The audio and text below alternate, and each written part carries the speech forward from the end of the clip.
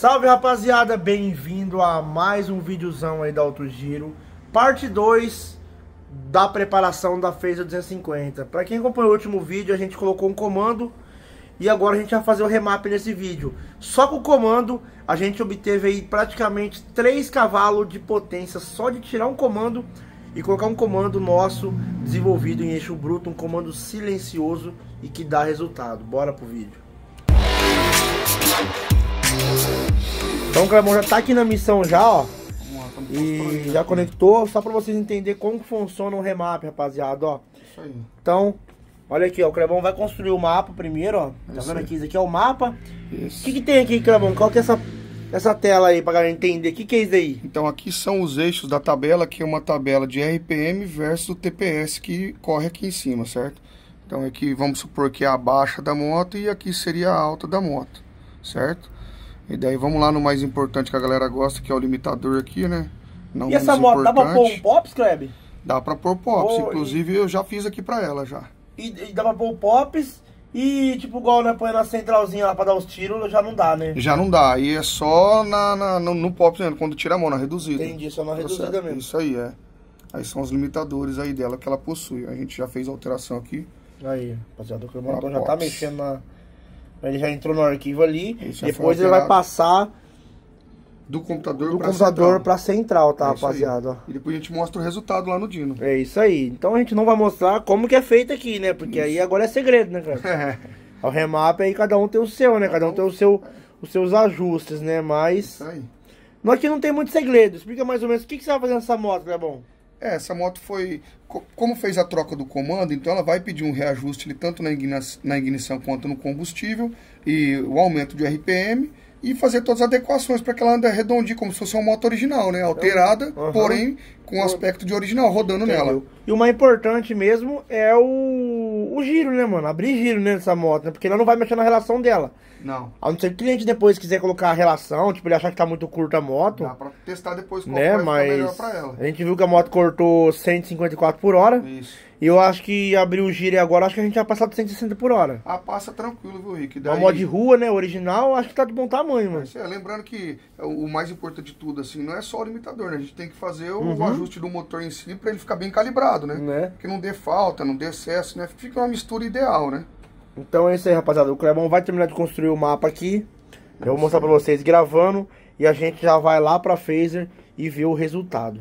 Marcha, Kleb! Marcha, bora lá. Aí, rapaziada, então, ó, gravou o mapa. E agora é teste, né? É Pode aí. ser que a gente tenha que arrancar aqui umas 3, 4 vezes pra dar uma mexida, uma melhorada. É isso aí. Né? Como a gente Como tá. não é moto tão mexida no motor, só comando escape praticamente, Não tem é, não é que tão fazer, né? complicado o, o ajuste, né? Aham. Então fica mais Ó, a moto cortava com o quê? 9, 9 e pouco? 9 mil RPM? 9 mil e pouco, né? Mano, Vamos ver se aumentou uma, uma, uma importante, se aumentou o corte. Ver, agora na hora da verdade. ó, o galera. corte aumentou, na certeza. Deixa eu dar uma aquecida. Tá gelada a motinha, ó. Acabamos de ligar, ó. Escape, ó. Bateu, pegou, ó. Zero.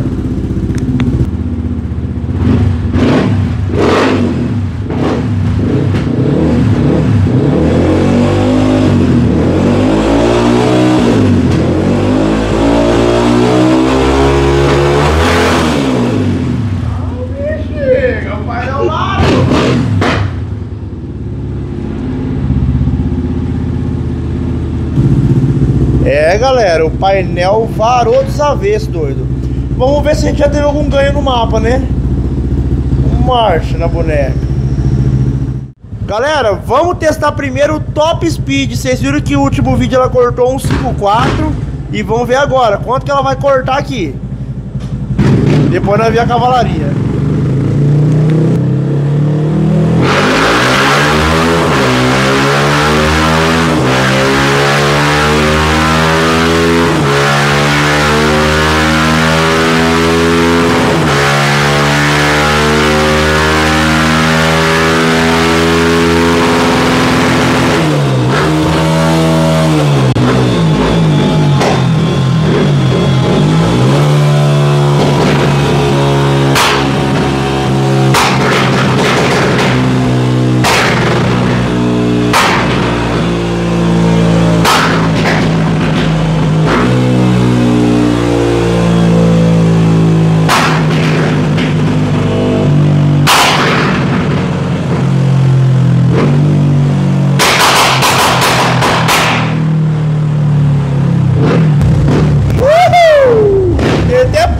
Funcionou, hein, Kleber?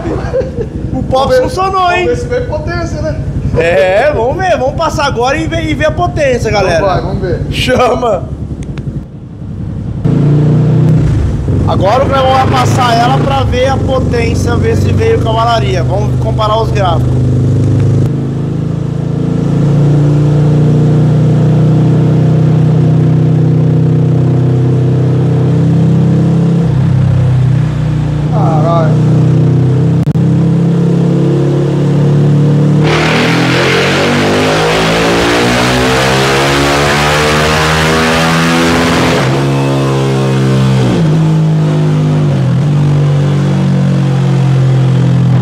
Aí galera, ó, chegou o Nego Bala aqui pra ver o resultado da, da Phaser. Ó, Perricão. O que, que você acha, Nego Bala? Mano, eu tava lá em cima, lá escutando uns, uns pipocos, uns tiros. Eu falei, mano, deve tá pegando o Clebão lá embaixo, velho.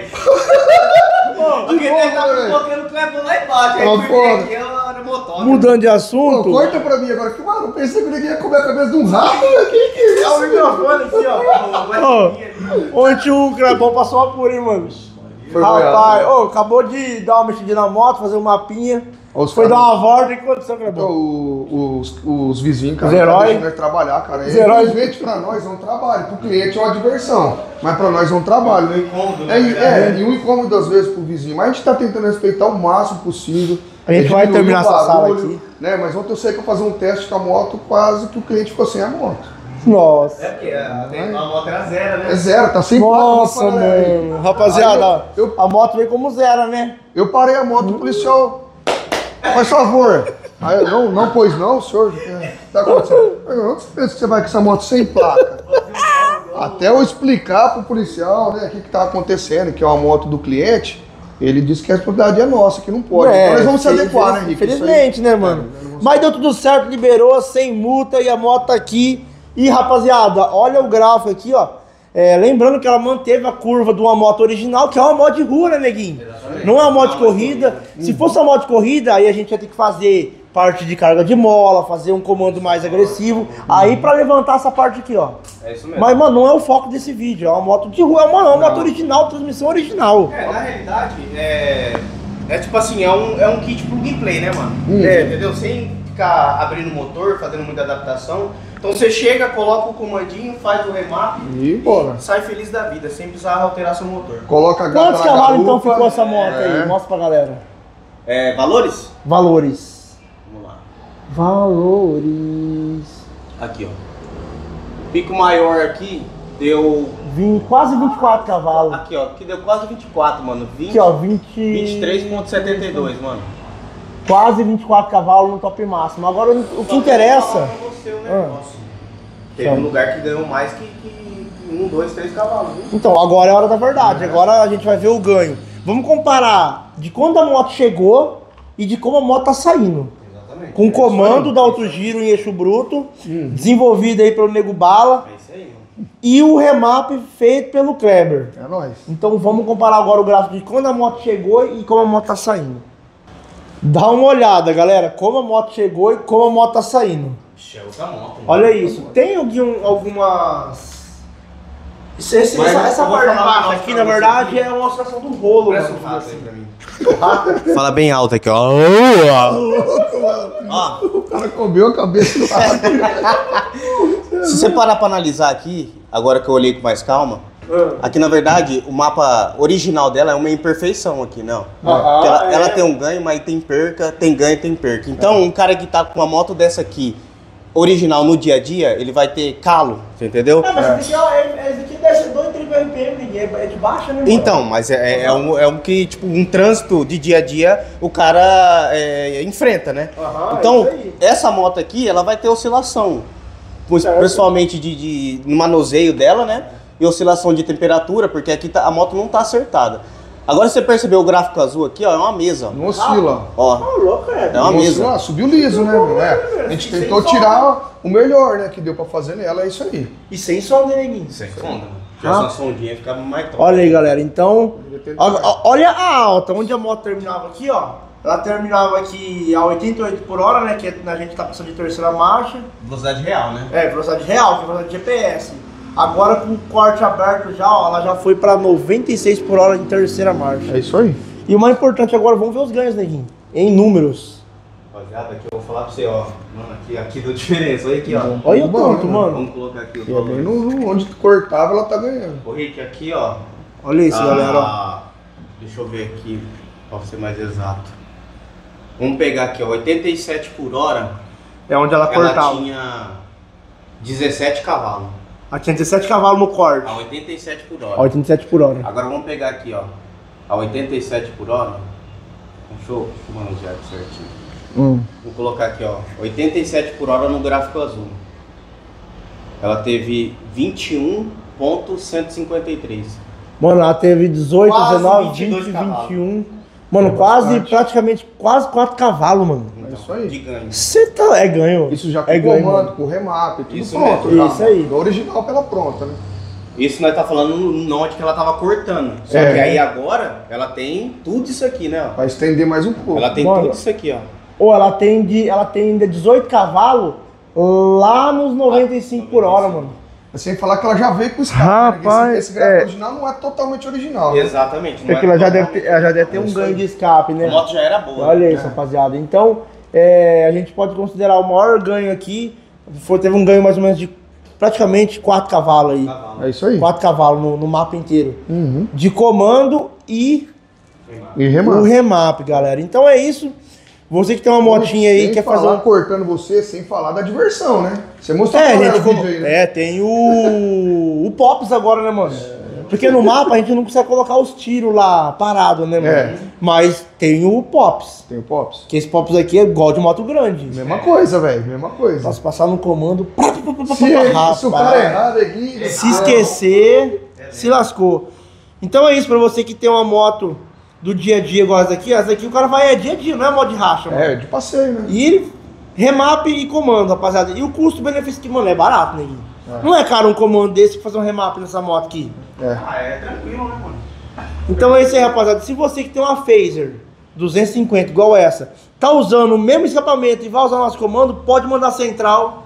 Nós vamos que o fazer. Clebão faz o POPs, acerto de combustível E limitador. Coloca um pouco Lembrando mais de que com esse ajuste você não precisa alongar a transmissão, então você vai ter mais força de baixo para carregar a namorada, um cara que é um pouquinho mais pesadinho, né? Não precisa alongar. Então você aumenta o limitador e mantém o torque de baixo. A gente sabe que quando põe o peãozinho fica muito bom na original, porém você perde um pouquinho de torque, né?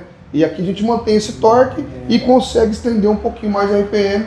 E também estamos com uma promoçãozinha aí de remap para Phaser 250 em 450 reais, Vic. Só Aí, 450 reais. barato, galera. É barato porque Phaser não tem nenhum estilo de central programável que dá plug and play nela. Exatamente. Não tem nada plug and play. O plug and play, por enquanto, é o remap. Manda a central pra gente que a gente vai desenrolar a sua vida. É isso aí. Certo, rapaziada? Se você quiser comprar qualquer produto giro, comprar o comandinho que está nessa moto aqui, só entrar na descrição desse vídeo aqui e vai estar o link para você adquirir esse comando aí. E escapamento, a gente também tem a linha de escapamento para Phaser 250, que é o brabo, o GRS, né, neguinho? E aquele lá representa. Eu preferi um GRS aqui, né? Mas o cliente já trouxe com o escape dele, um Dory, a gente fez acontecer com o escape que ele trouxe. Com certeza. Certo, rapaziada? Então é isso, a gente vai ficando por aqui. Até o próximo vídeo e tchau.